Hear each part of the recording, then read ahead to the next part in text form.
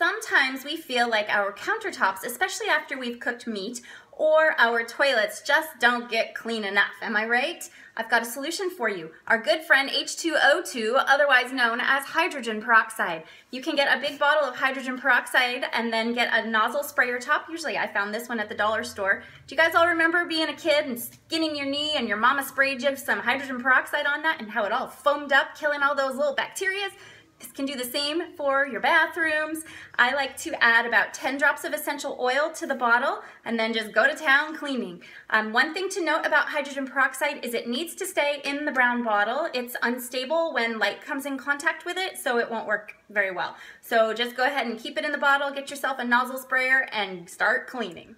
Who has a front-loading, high-efficiency washing machine? If you do, then you know that smell I'm talking about, right? You forget the towels for a couple days in the washing machine and oh my word. So I've got a solution for you. Instead of using those toxic packets that you can use to clean out the smell, purification to the rescue. Just add a few drops directly in the drum of your washing machine and run an empty cycle on hot and it is going to clean that smell out for you. It's truly amazing. Perhaps one of the easiest ways to freshen up your bathroom is by placing a couple drops of essential oil on the cardboard center of your toilet paper roll. Purification would be a great one for the bathroom, pretty much any smell you'd really like other than the typical bathroom smells that you have. Another way that you can freshen up your bathroom is by adding a few drops of essential oil into the tank of your um, toilet so that when someone flushes, it smells lovely. I saved my favorite trick for the end.